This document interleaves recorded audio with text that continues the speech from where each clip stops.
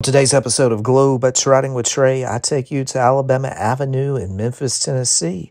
You're going to see where Elvis Presley once lived with his parents and also find out where this photo was captured of Elvis once upon a time.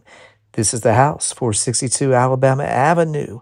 I interviewed one of his girlfriends, Barbara Hearn, and she's going to share some really great stories from that home. It's right across the street from Lauderdale Courts. Next time you're in Memphis, you're going to be able to visit after watching this episode. So go get your popcorn ready. It's going to be good.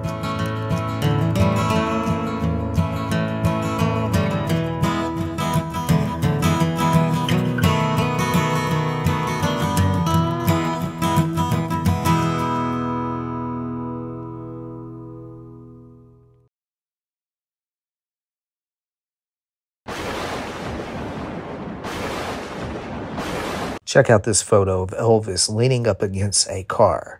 This was his first car, a 1942 Lincoln Zephyr. Elvis's dad got this for him. I'm not sure how much it cost. I don't think it was too much. It was a green color car. And where exactly was Elvis at in this photo? Where was this photo captured? It was right here. This is Alabama Avenue. Elvis was on the other side of that pole and standing right here, leaning up against his car, literally right there. And I know that because of this fire hydrant. You see the fire hydrant up above the hood? That fire hydrant is right here. Still today on Alabama Avenue, and the home used to be right there on that land, on that hill across the street. Elvis was right here once upon a time in his life parked. So now we know where his parking spot probably was here out front of this house, 462 Alabama Avenue. Elvis and his mom and his dad, and I believe Dodger, his grandmother, lived on the bottom floor. And there was a Jewish family that lived up above on the top floor. So it was a little apartment, a home converted into two apartments. And here's a story from Barbara Hearn, one of Elvis Presley's girlfriends, of a memory that happened at Alabama Avenue. I think I read where you went over to Alabama Avenue.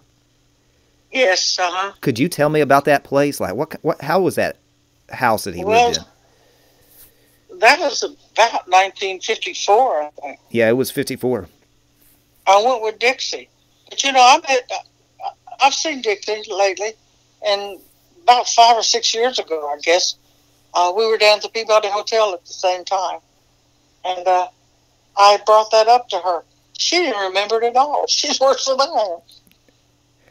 Wow. But uh, I, we went to, we went together, and we didn't have a car. I have no idea how we got there. I guess we rode the bus all the way across town Yeah. because we were from South Memphis, and that place was in North Memphis. But uh, the only thing I remember is I went in the apartment there on Alabama Street, and I, I- remember what it looked like. And but mostly we sat out on the porch, so it must have been fine weather.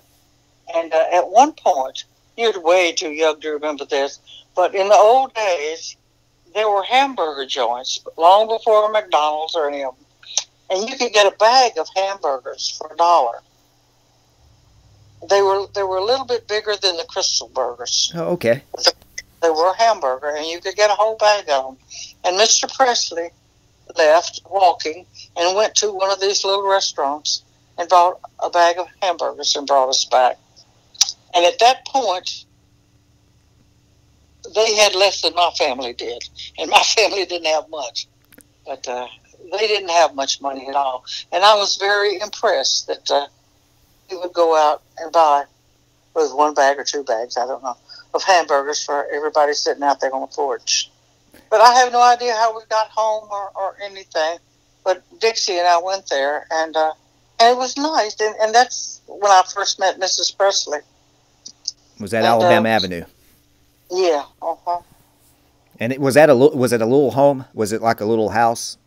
No, no, it was. Uh, A you know, I can't remember real good, but it was a big house. It, it was cut up into apartments. apartment. So he had they had one one apartment in there. Yeah, and I'm thinking. I'm not positive, honey, so don't quote me on this, but I think there were maybe four apartments, two downstairs and two upstairs. I'm not really real sure. But they were on the downstairs area. Yeah. Uh-huh. I know I've done my research, and the actual land where that apartment building would have, or the home would have uh, stood at, is still actually there, but the interstate now is running through. Uh, yeah, the house is not still there, is it? No, the house is oh. not still there. Uh, no, that whole street got wiped out, but that little portion of land where Elvis's home was mm. is like the act the only land that survived. I see. Well, have you seen pictures of that house? I saw a picture of. Uh, I, I, I, I have seen one picture of it, and there's a picture of Elvis out front of the house at his car. Have you ever hmm. seen that? No, there's, there, there's one um, on the internet someplace of the house, the whole house. And I, I, I remember, I think it had like bushes out front. I don't remember that. You don't remember that? But yeah, I think I've seen that because, like I said, there's one really good picture of Elvis on the side of the sidewalk mm-hmm. at his car, leaning up against his car with the houses behind him. Yeah. And it, right. it, it, it's like the house was up on a little hill. Right here is Lauderdale Courts. Elvis's uh, Winchester apartment was right over here in this area. But right here, we would be in his home here on Alabama Avenue after he left Lauderdale. They made too much money one year in Lauderdale, so they got kicked out and they came over here to a house that was sitting right here on this land on Alabama Avenue.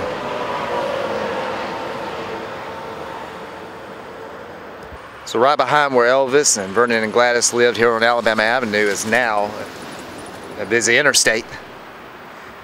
And you probably pass it all the time if you're over here in Memphis. And you never know where Elvis used to be once upon a time.